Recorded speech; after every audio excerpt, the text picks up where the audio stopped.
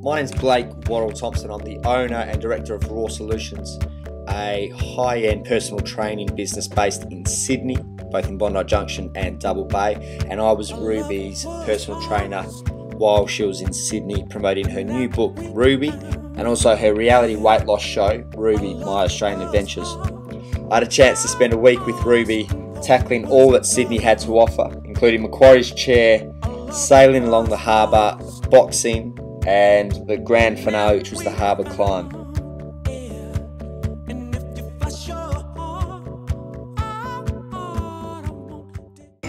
You Ruby? Yeah.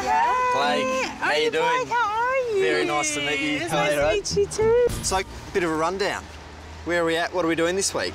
I'm so excited to be here and I want to see the scenery. I want to have so much fun. And I'm hoping that you could take me places that I could work out and plus see the scenery. You know what I mean? And Absolutely. do some fun stuff. But my goal is to lose 10 pounds this week. Pounds. Day one was an intro with Ruby and George. I hadn't met them, they hadn't met me previously, so it was a chance for us to sit down and have a bit of a chat and work out what Ruby was capable of doing and what she wasn't. Uh, and then we went on a brief walk around the city of Sydney to give her a little look at what Sydney's got to offer. What are some fun things that will make it interesting for me? Definitely got to get out and do some walking, see Sydney. We're hoping maybe the Sydney Harbour Bridge. Have you seen a picture of it? Unbelievable view up there. So we want to, at the end of the week, be able to get her to climb Sydney Harbour Bridge. That is scary. Australia. My job's to keep Ruby on track while she's away, which is a really hard part. So for the next week, whip her into shape and see that she uh, gets back on that flight in, in good form.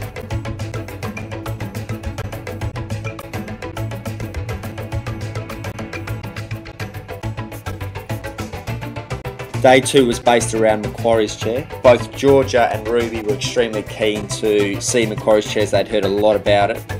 So we did a boxing session around Macquarie's chair and it was their first chance to have a look at the bridge and prep themselves up for day five.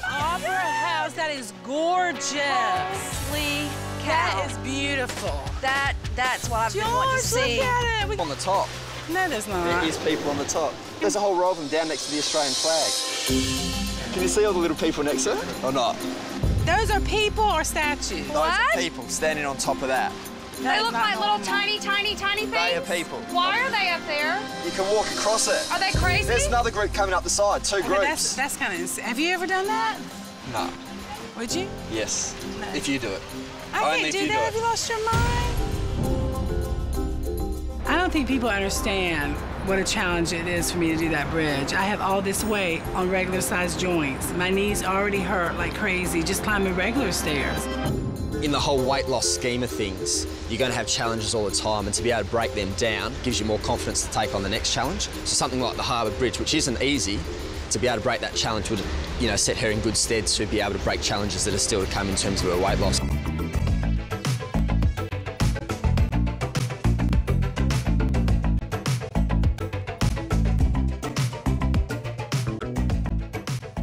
My major concern for Ruby is her knees. Um, at this stage, that is her limiting factor in terms of how far she can get. 11, 12, 12. So if we can do some basic things to strengthen her core and the walking, which is going to help strengthen her legs, we'll be able to get past that issue and get her to climb that switch. 14, 15, 16, 17, 18, 19, 20. Good. All right, we're working down. Working down. Do we want Have that you 10? lost your mind? Do we want that 10 pounds this week? Yes. Excellent. Let's go. 18. What? Two, three, four, We're not done? six, seven, eight, nine, 10, 11, You're kidding? 12, 13, 14, 15, 16, 17, 18. Excellent.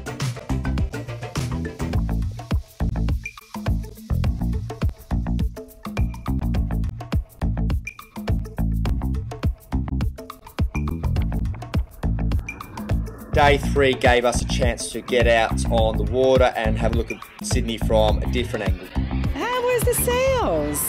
We're going to mast them. What? We're going to put them up as well. Well, let's go. Let's go. Crew for. Sailing's nowhere near as easy as it sounds. If you're pulling the ropes, you're going to be burning those calories. I think Ruby's in for a little bit of a surprise. Ruby and Georgia hadn't been on the Sydney Harbour before. Gave Ruby and Georgia a good chance to see another view of Sydney and also get a solid workout in pulling in the reins and running the show on the boat. I promise. One second. You did it. girls. I I gotta get rest about it.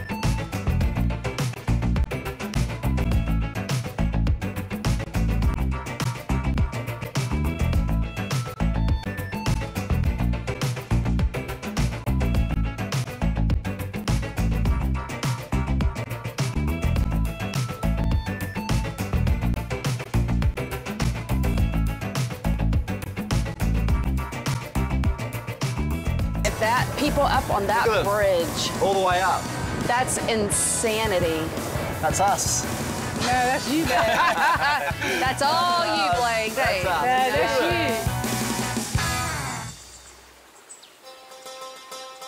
you. Ruby, if you can conquer the bridge, you've conquered Australia. Nuh-uh. Uh-huh. Look at them. Blake will not let up about that bridge no matter what I say. Day four was again based around the Harbour Bridge, just prepping up Ruby for day five. There's our bridge for tomorrow. Oh, I ain't not walking that bridge. Absolutely, just up here. Imagine the view. Look at it. All of Sydney. I can see it right here. I don't to it. You won't get anywhere near as what you're going to get up there. That will help you lose the 10 pounds. That's not help me lose That's the best workout. gonna kill me. That is the best workout you'll ever do. I'll never be able to work out again. You'll never get a calorie burner like walking the bridge. Day five was the grand finale with the Harbour Bridge climb. We'd been prepping Ruby up all week and making sure she was as strong as possible to complete the task which she wanted to do so badly.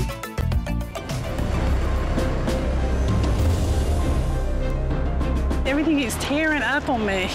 She's only done a few, you know, flights of stairs in previously. It's an unbelievable effort. Oh, God. Where's the destination? The flags. At the top of the flags. How many steps have I taken? About 500? 500. Taken, yeah. Ruby definitely didn't think she was going to achieve and was very nervous throughout the course of the five days and Georgia pulled out only hours before. Ruby with the rest of the team was capable of conquering that bridge with a few little issues on the way back down with her knees but absolutely dominated the harbour bridge climb and hopped back on that flight knowing that she'd done all she could in Australia. But you got 20 steps left. 10 there, 10 there, and you're done. God. Yes. Pump up that last 10. Let's get all of them. That's it. Yes. Yes. Good for you. You did it. Well done. You did it. Unbelievable. This is it, Rubes. Amazing. We uh, worked together to push each other up. My stomach was turning and her knees were hurting, so we managed to uh, talk each other up and make sure we got up here.